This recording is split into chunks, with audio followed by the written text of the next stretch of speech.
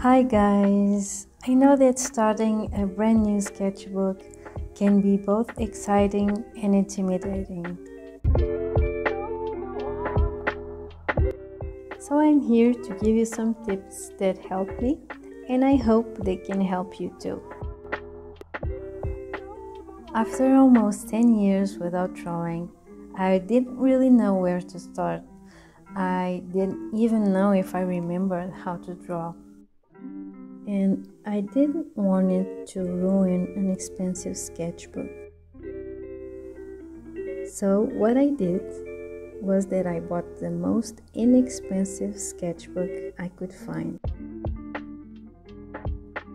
I felt like a beginner. I didn't know where my skills were at that point. So, this allowed me to feel free to try whatever I wanted and get rid of the fear of messing up a precious sketchbook. If you are a beginner, don't focus on how other people's sketchbook looks like. You cannot compare your beginning with someone's middle the most important thing is just to start. Everyone is on their own journey, so don't compare yourself to others.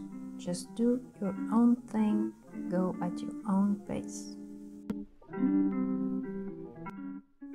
If the first blank page of your sketchbook really scares you, you can just start on the second or third page. There are no rules, it's your sketchbook. You can do whatever you want.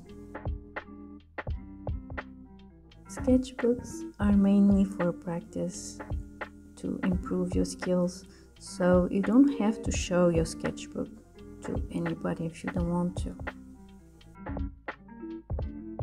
Another option is you can write some motivation quotes on the first page or you can write down the date or your goals. You don't have to do a finished drawing on the first page.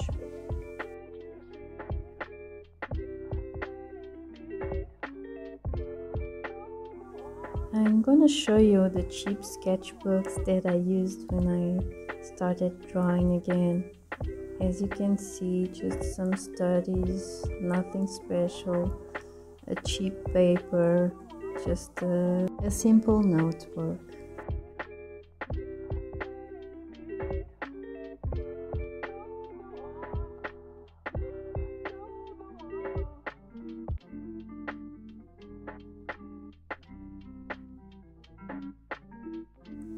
Here's another one, a smaller one, where I tried some ink pens, um, some doodles, some pages with nothing on, nothing special. Here's an old sketchbook. I, I ripped some pages off and I just reused it. I did some that with some old sketchbooks when I didn't want to buy a new one. This is another one. Also an old one that I reused and start drawing on the back pages.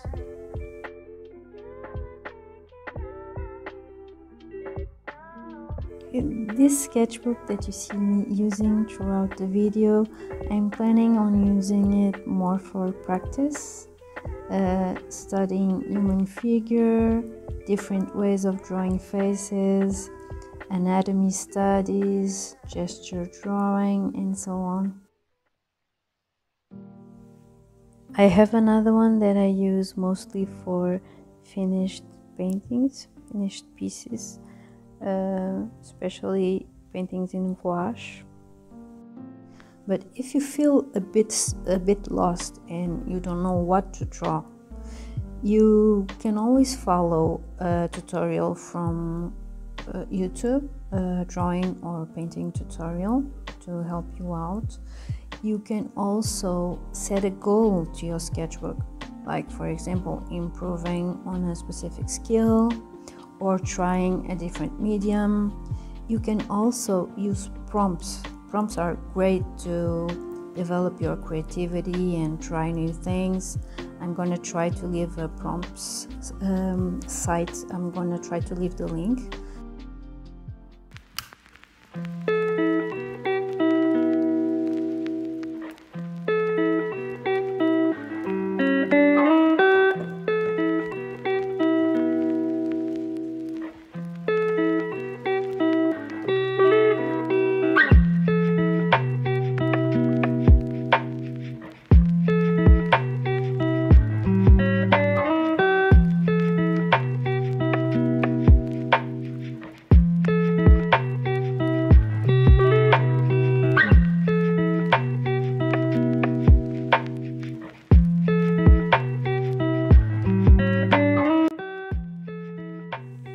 guys, I'm gonna leave you with this nice quote A master artist is a beginner who kept beginning. So remember that, don't give up, just keep going. And thank you guys so much for watching this video. I hope to see you in the next one. Bye!